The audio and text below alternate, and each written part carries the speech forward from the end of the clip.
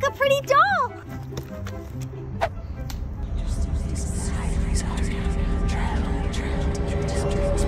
Daddy, can I keep her? Uh, sure, why not?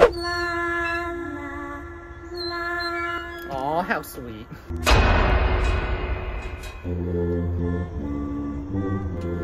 Okay.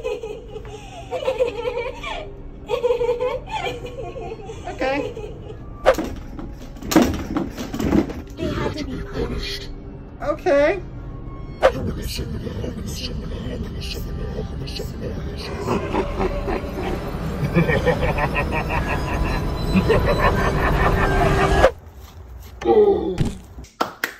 You didn't think you could get rid of us, Dad? Did you, Father?